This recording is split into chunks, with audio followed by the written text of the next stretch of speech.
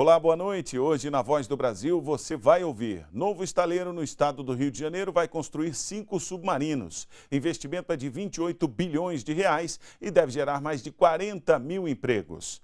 Comércio varejista vendeu mais em outubro. Veículos e motos impulsionaram o crescimento entre setembro e outubro deste ano. E ainda, passaportes vão ter validade de 10 anos. Estas e outras notícias daqui a pouco, às 7 da noite, na Voz do Brasil, em todas as emissoras de rádio do país. Até lá!